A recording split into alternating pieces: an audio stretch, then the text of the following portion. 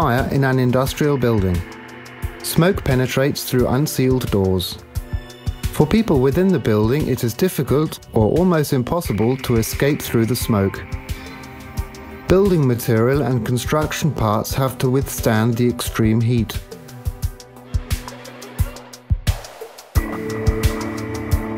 If the smoke and heat cannot be released to the outside, the inflammation point is soon reached. And if just a door is opened, a flashover through the whole building is caused by the inflow of oxygen.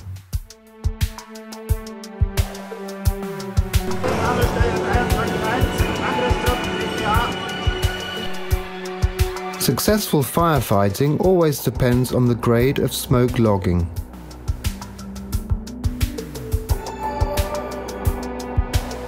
To localize the source of fire, firefighters have to wear oxygen masks to get through the smoke.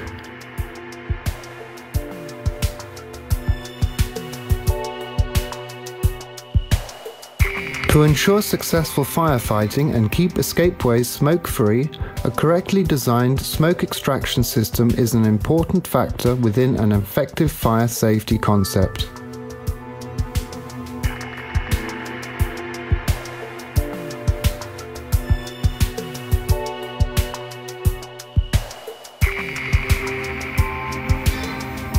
The diagram shows clearly that especially in the first 10 minutes after the start of a fire, the temperature is low, but the development of smoke is extreme.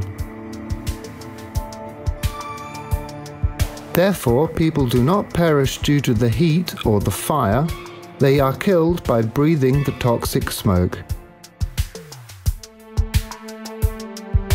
By burning 100 kilograms of paper, a smoke volume of 20,000 cubic meters can be produced within 10 minutes. This is the volume of a building 100 meters long, 25 meters wide and 8 meters high. If a smoke and heat extraction system is installed, the temperatures are considerably lower and the hot smoke is released to the outside, which is shown in the second diagram. This film was produced in order to understand more about the function of smoke and heat extraction systems. The model test shows this quite clearly. Our industrial building has natural smoke extraction ventilators in the roof and side windows in the side walls.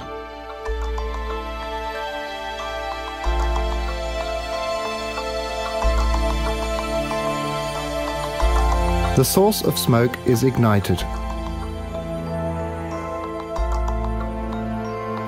Smoke rises due to thermal temperature vertically upwards and spreads under the ceiling with a velocity of up to 10 meters per second until it reaches the side walls.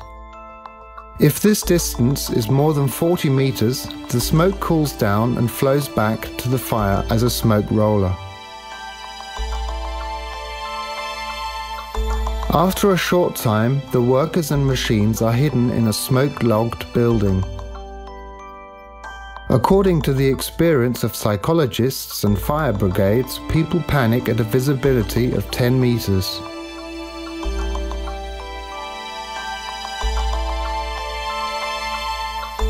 The natural smoke ventilators are opened. It can be seen that just a little smoke is released.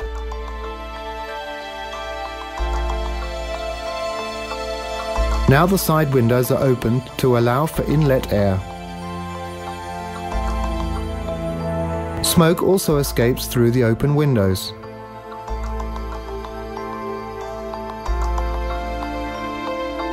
Although the inlet windows are open, there is only a little smoke release through the smoke ventilators in the roof. The test shows that smoke extraction in a completely smoke-logged building takes a very long time, although smoke extraction ventilators and inlet air windows are open.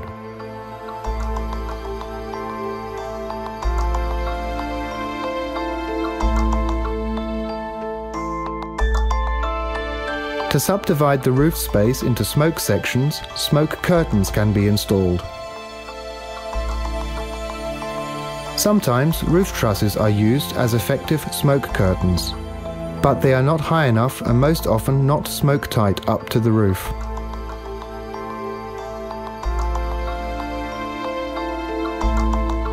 We will see if the smoke stays in the smoke section above the fire. Our smoke curtain is similar to a roof truss which is not smoke tight up to the roof. The natural smoke extraction ventilators are closed and the smoke source is ignited.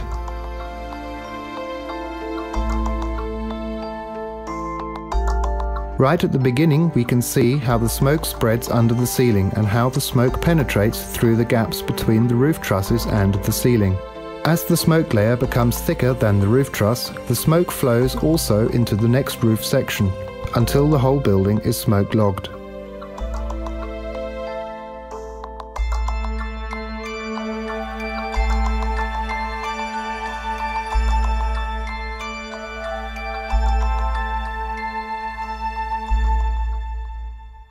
We repeat this test by using a smoke curtain which is half the height of the building and is connected tightly to the roof. The gaps between roof and purlins are closed smoke tight. If rigid smoke curtains cannot be installed because e-transport cranes hinder, automatic movable smoke curtains can be used.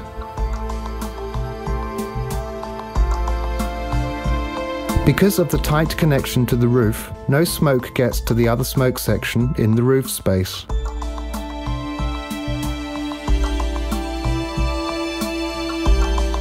Even as the fire develops and more smoke is produced, the smoke falls down at the smoke curtain and does not enter the other smoke section.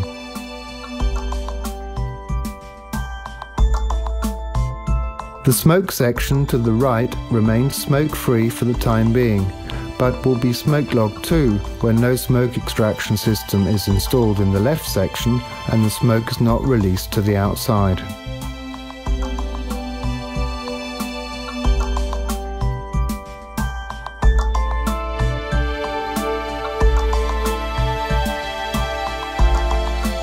The next test shows the function of an expert smoke extraction system. At the early stage of a fire, the smoke extraction ventilators as well as the inlet air units open. The smoke is immediately extracted and stays within the smoke section.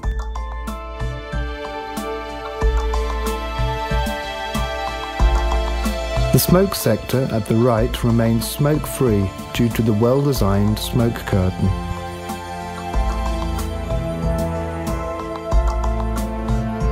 In the left section, a smoke layer builds up in the roof space. The floor area is kept smoke-free. Therefore, people can escape without any problem. The firefighters can localize the source of the fire easily and start a specific fire attack.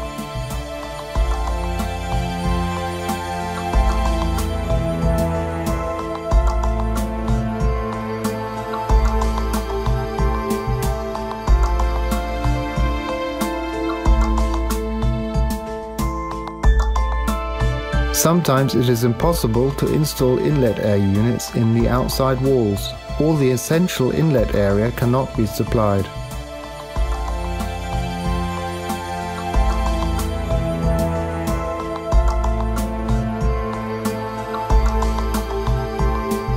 It has proved to be a good substitutional solution to use extraction openings for inlet air, if smoke sections are created by smoke curtains.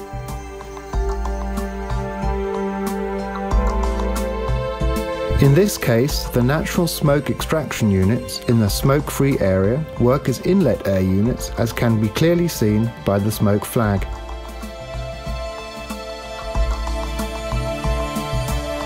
The smoke extraction ventilators in the smoke-logged section work as natural smoke extraction ventilators.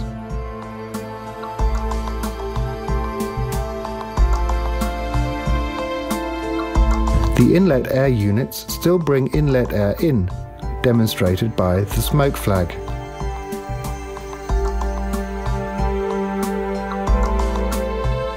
The different tests show that natural smoke extraction works best when the system is initiated at the very early stage of a fire and the necessary inlet area is open. In addition, the tests have shown that smoke curtains have to be planned seriously to fulfill their purpose.